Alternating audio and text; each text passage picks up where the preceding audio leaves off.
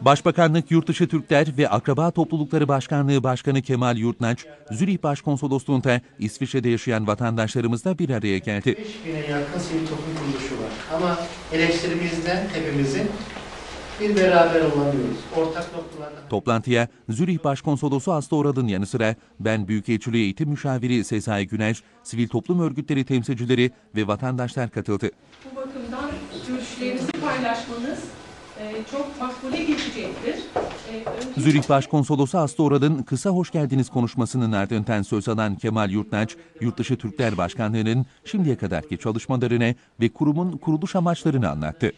Olmayan ülkelerden onların çocuklarını Türkiye'de üniversite eğitimi veriyoruz. Biz bunu belki bilenleriniz bilir, hocam bilir. Devlet ve hükümet burslarıydı bunları. Biz bunu Türkiye bursları olarak markalaştırdık. Yurtnaç konuşmasının ardından kendisine yöneltilen soruları cevaplandırdı ve İsviçre vatandaşlığı bulunan vatandaşlarımızın mutlaka aktif siyaset yapmalarını, halk oylamaları ve seçimlerde kesinlikle oy kullanma haklarını kullanmalarını talep etti. Şu anda sayı 12 bin, bu sene 4 bin öğrenci daha gelecek. Toplantı sonrası Yurtnaç, arkadaşımız Bahtiyar Okumuş'un sorularını cevaplandırdı. Çok önemli bilgiler verdiniz. Özellikle kurumunuzla alakalı. Yapmış olduğunuz çalışmaları anlattınız. E, Aldığınız izlenim nedir? E, yeterli bilgi verebildim diyor, diyebiliyor musunuz? Evet. Ben teşekkür ediyorum. Bugün İsviçre'deyiz. Vatandaşlarımızla toplandık. Ee, onu benim dememden ziyade salondaki katılanların kanaati önemli. Yani bizim kendi kendimize sonuç cümlesi söylememiz doğru olmaz.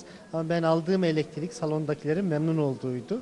Nihayetinde bu kurum e, burada yaşayan insanımızın kurumu. Onlar adına çalışma yapan, onların kanaatlerini, beklentilerini öne alarak çalışma yapan bir kurum.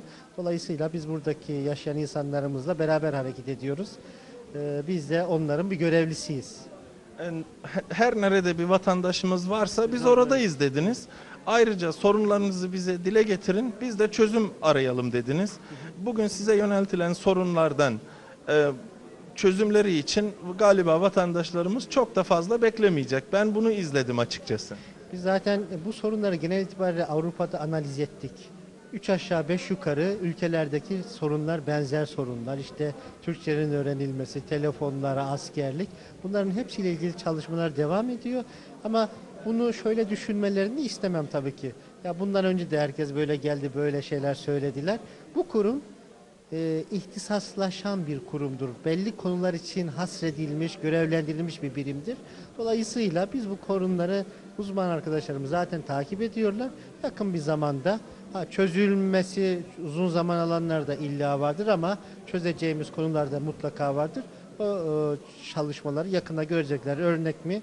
İşte yurt dışında oy kullanma 50 yılın bir rüyasıydı ve önümüzdeki Cumhurbaşkanlığı seçiminde buradaki yaşayanlar bulundukları yerde bu oyları verecekler. Ee, bununla askerlikle ilgili çalışmalar son e, safhaya geldi. Ee, buradaki sorunlar işte yavaş yavaş böyle çözülecek.